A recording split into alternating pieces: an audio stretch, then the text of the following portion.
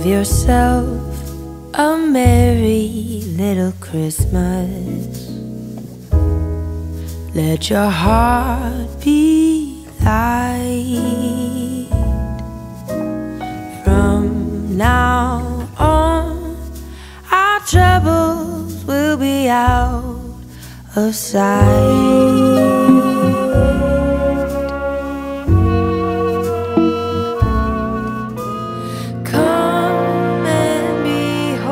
Behold. Has taken me on a journey that was very much unexpected.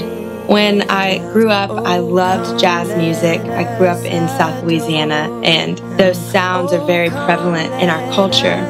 Because of that, I kind of wanted to take time to reflect on where I've come from and those classic sounds that surround Christmas and use that lens to see where I could be going. It became a time of reflection that I didn't realize was going to show me pieces of my heart that were going to come alive in the process of making this record.